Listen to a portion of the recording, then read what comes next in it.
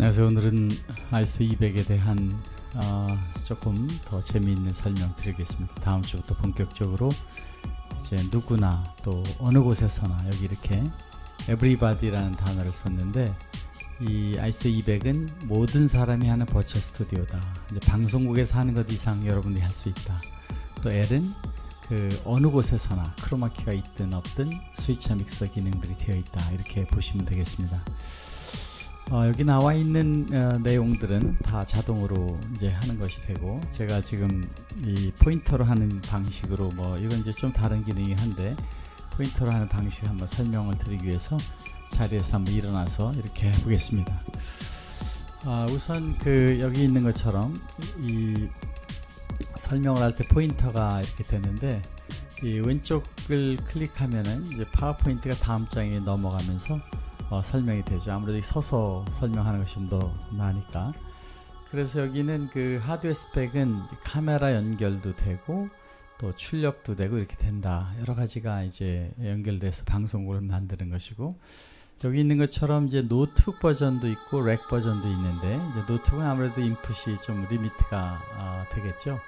어, 그래서 어, 이 부분을 이제 그 하드웨어 스펙으로 보면 두 가지가 있는데 여기 있는 것처럼 rack으로 되는 거 여기는 인풋 아웃풋이 아주 프로페셔널하게 다 들어있고 여기에는 노트북 버전으로 어, 이렇게 해서 약간 limit가 있지만 편안하게 쓸 수 있도록 되어 있습니다. 그래서 제가 이렇게 이제 앉아서 그 강의를 하면서 하게 되면 아무래도 손이 이제 좀 더 자유로우니까 여러 가지 기능들을 더 하는데 여기에 지금 그 메뉴를 보면 이렇게 이제 파워포인트와 아, 또 거기에 있는 어, 다양한 스펙트 여기 나오게 되어져 있습니다. 어, 이것은 이제 그 노트에 이제 파워포인트를 보일 때 노트 파워포인트 노트가 있죠. 그 이야기할 수 있게끔 크게 이게 나와져 있고 어, 여기 보시는 것처럼 예, 이 모니터에 보이는 내용의 스위치들이 여기 있습니다. 그래서 아, 이 기능들 한번 눌러보겠습니다. 제가 거기서 눌러보면 어, 예를 들면 제가 이렇게 하게 되면은 이렇게 효과를 주면서 이제 제가 지금 쓰고 있는 카메라가 나오는 거고 다시 이렇게 하면 파워포인트가 나오는 거죠. 어, 또 다른 카메라를 넣어서도 할 수 있고 이제 제가 하고 있는 이런 또 다른 카메라로 제 방을 설명하는데 이런 것이 일반적으로 스위치로 다 되는 거죠. 만약 여기서 이제 그 일반 스위치는 이런 상태에서 어, 아까 한 것처럼 이 PPT를 보이면은 PPT로 또 그 지금 화면을 보이면 화면으로 어, 카메라를 보이면 카메라로 이렇게 보이는 그 다양한 효과들을 주고 있는 것을 우리는 이제 그 예를 들면 줌 화면 줌 화면 이렇게 나오는 거죠. 어, 이렇게 보일 때에 이, 이, 우리 스위처 지금 이제 많이 시중에 팔고 있는 스위처를 다 그렇게 하고 있는 거죠. 그런데 이 iStudio 200은 이 스위처를 가상 칠판과 장면에 할 수 있게 만들어서 스위처 기능과 또 가상 합성 기능을 집어넣어 편리하게 쓴 것입니다. 아, 특별히 여기 줌이 나오게 되면 줌 화면에 나온 사람이 나오겠죠. 그래서 그쪽 사람들하고 이야기를 하게 되고 또 이제 학생들하고 얘기를 하려면은 여기 학생들을 그려놓고 어, 이야기를 하게 되고 또 칠판을 보이려고 파워포인트라는 파워포인트가 나와서 어, 가게 되고 어, 또 어떠한 그 다음 장을 누르게 되면 다음 장이 이렇게 되는데 이렇게 그 아이, 노트북에서도 이제 인풋을 노트북 스크린, 화면, 뭐 카메라, 학생 USB 카메라 이런 걸 넣어서 쓸 수 있게 만든 것이 그 아이스튜디오 브로드캐스트 스테이션, IB 스테이션이라고 그래서 어, 노트북으로 어, 예, 그동안 방송에서나 할 수 있었던 것들을 쭉 하게 되어 있습니다. 어, 특별히 이 장비는 이제 그 줌 같은 화면을 했을 때에 그 학생들과 대담을 하면서 어, 갈 수가 있기 때문에 편안하게 만들어지는데 몇 가지 기능 중에 이 자막 기능이 또 있어서 이렇게 그 어, 로고나 멋진 것에서의 자막이 예, 나갈 수 있도록끔 그렇게 되어져 있습니다.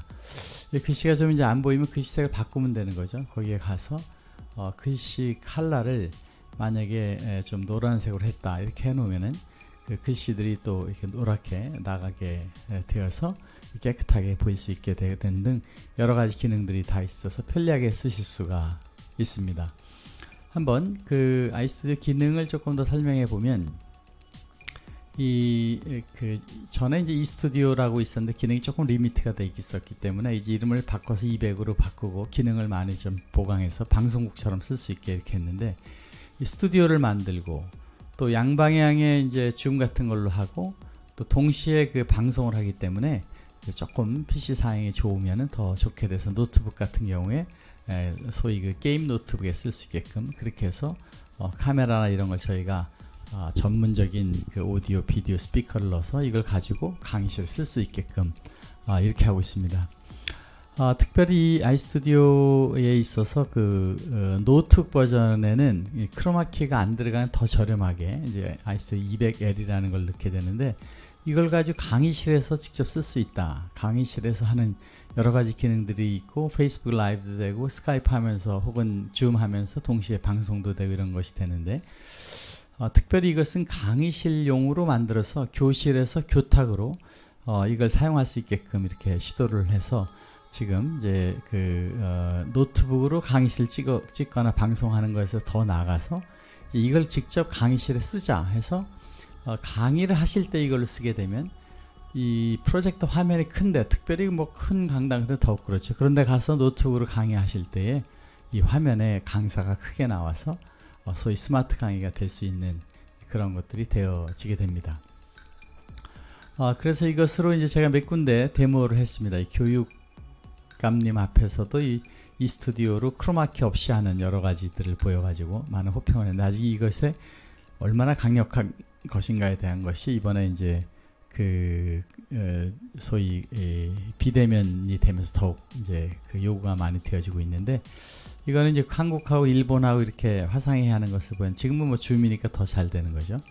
그래서 이렇게 그 어, 과거 이 스튜디오를 이제 더 강력한 아이스 200으로 바꿨다는 것이고 이 화면에 지금 이렇게 이제 보통 웨비나나 이런 장비들을 써서 하는 고가의 장비에서도 이 강사와 그 자료를 합성하게 되면 강사를 비록 크롭해서 하더라도 이 자료가 16대 9니까 수학을 풀으면은 이 빈 공간이 많이 나오게 됩니다. 그래서 이 강의 화면이 효과적이지 못한 데 반해서 어, 이 아이스튜디에서는 시간 도메인에서 이렇게 프로젝터 화면을 100% 나오거나 작게 하거나 아, 또 강의를 이제 안 하고 선생님이 설명을 할 때는 이제 선생님이 커지게 되는 방식들을 써서 타임 도메인에서 어, 이제 4차원적인 강의 스위처다 이렇게 보시면은 될 수 있게끔 만들었고 이 모든 것은 혼자서 할 수 있게 이렇게 되어 있습니다. 참고로 여기에 에, 만약에 제가 이제 카메라를 그, 그 소위 그 어, 이 일반 카메라 그러니까 저, 저 어, 크로마키 없는 환경을 한번 설명해 보면 카메라 스위칭 한 겁니다. 실시간으로.